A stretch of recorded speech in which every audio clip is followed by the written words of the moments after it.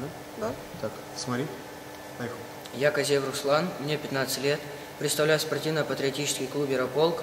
В этом клубе занимаюсь больше полугода, достиг немалых успехов. Я являюсь чемпионом Москвы и Московской области по рукопашному бою и смешанным единоборствам.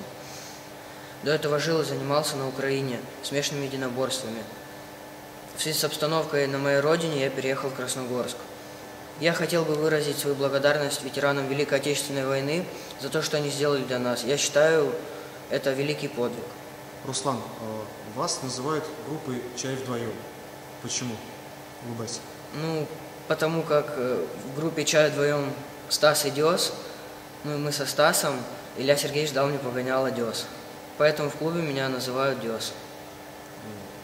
А кто из вас главный? Стас. Поч- почему он главный? Он красивее меня, у него больше бицепс, лучше меня поет и танцует. И, и, И что?